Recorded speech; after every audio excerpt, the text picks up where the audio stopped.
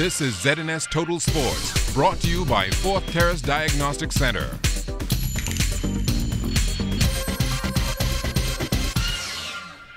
Welcome to sports, everybody. World Championship silver medalist in the women's 400 meters, Shaunae Miller, paying a visit to Eleuthera today. Our Charles Fisher was along for the ride.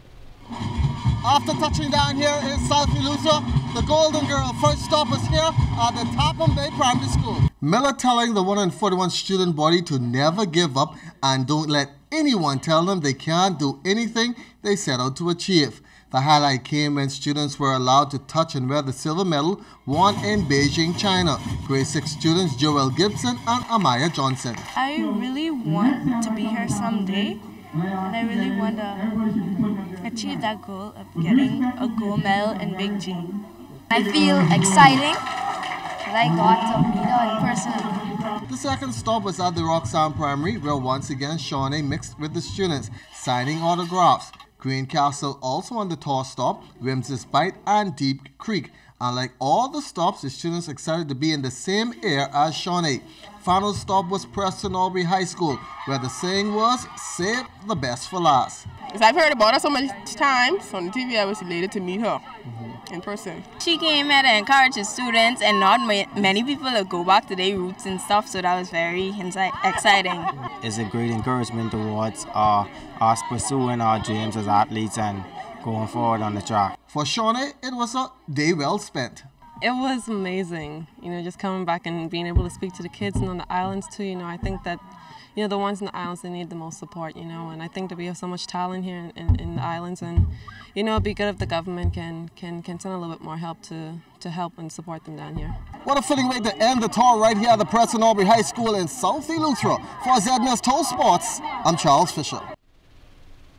The weigh-ins for the 2015 Central American and Caribbean Bodybuilding and Fitness Championships taking place today at the Atlantis Resort.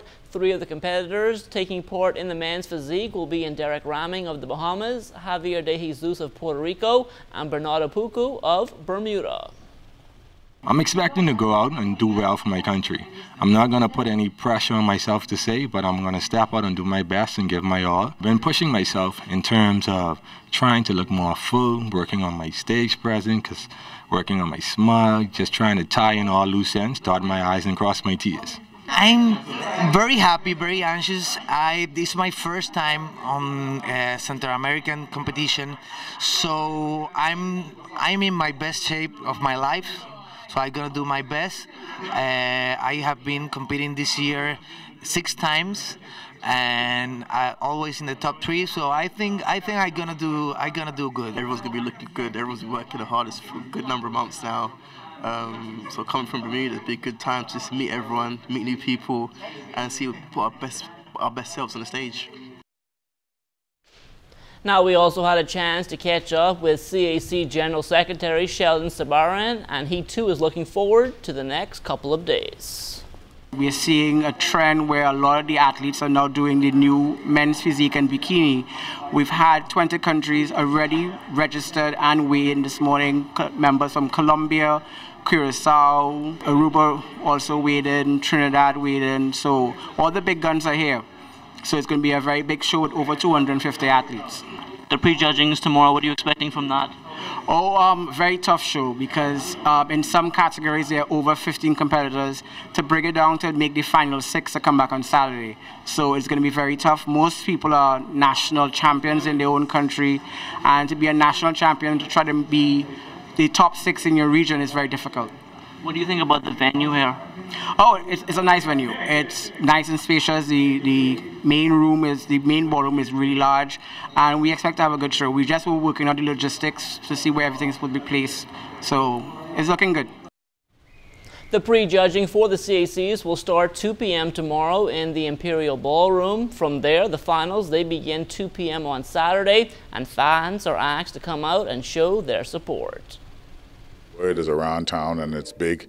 Um, everything is epic right now. That uh, this is the one you you have you can't miss this one. This is the one you have to be to. Um, we have countries right now. I think we have a confirmation of some 24 countries, um, and I think we allow they allow this year that one or two countries can uh, even register late. So I think maybe at the end of the day we can see 30 countries coming on our shorelines to to grace our stage and um, bring the best of uh, the best in the Caribbean and Central America.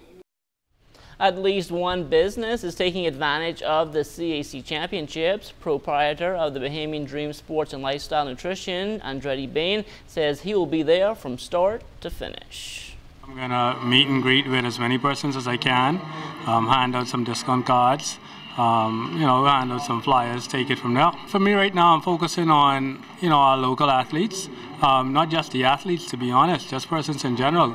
And that's one of the things that the company stands for. Um, we don't want the general population to feel excluded from what it is that we offer.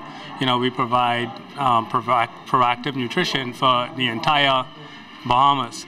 You know, so fans who are coming in just to watch, the athletes, whoever, we're just here just to kind of get the word out there or to continue spreading our message that the Bahamian Dream Sports and Lifestyle Nutrition is all about promoting a healthier Bahamas.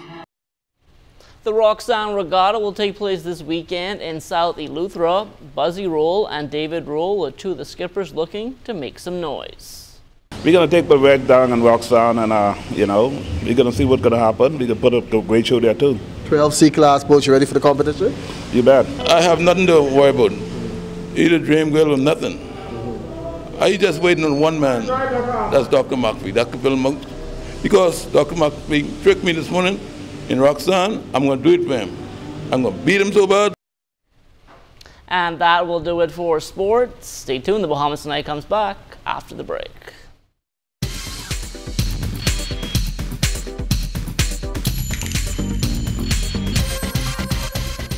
This is ZNS Total Sports, brought to you by Fourth Terrace Diagnostic Center.